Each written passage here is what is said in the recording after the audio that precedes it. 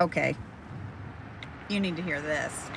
Hey, uh, it's your brother. Listen, um, I really need to talk to you about something. It's not bad or anything, but it's just the other day you said how you really like Nick, and uh, anyway, are you like free to meet up later and talk about this? Uh, just let me know. Bye.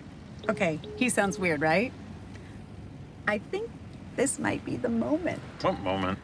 The moment he reveals himself to me as a homosexual. What makes you think that if he does come out, you'd be the one? Because I'm his sister, and he feels comfortable around me, and this is the face of no judgment.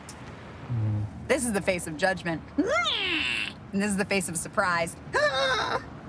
And this is my pretty face. Mommy, that is not pretty. What is it, too pretty? Yes, it's too pretty. Do you hear that? That was sarcasm. Oh my god. This is the best day of my life.